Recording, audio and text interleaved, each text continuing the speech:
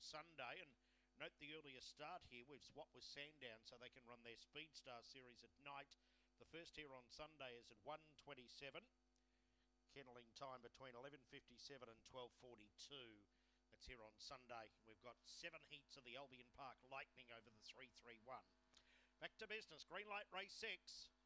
Racing, Joyce Rumble midfield away. Captain Louis flew out, but driving through Mrs. Paletti. Thunder Fury down the outside, followed by Reinhold. Joyce Rumble into midfield, followed by Got There, Frosty AJ and Invagari Lady. Running into the back, the leader, Mrs. Paletti by two. Here comes Thunder Fury. Three away was Reinhold, followed by Captain Louis. Then came uh, Got There, no Joyce Rumble, and then Invagari Lady coming towards the corner.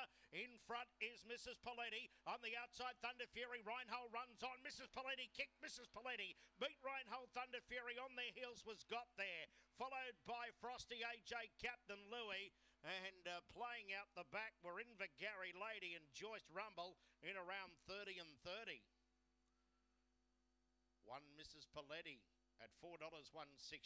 She was very much suited off an inside alley tonight.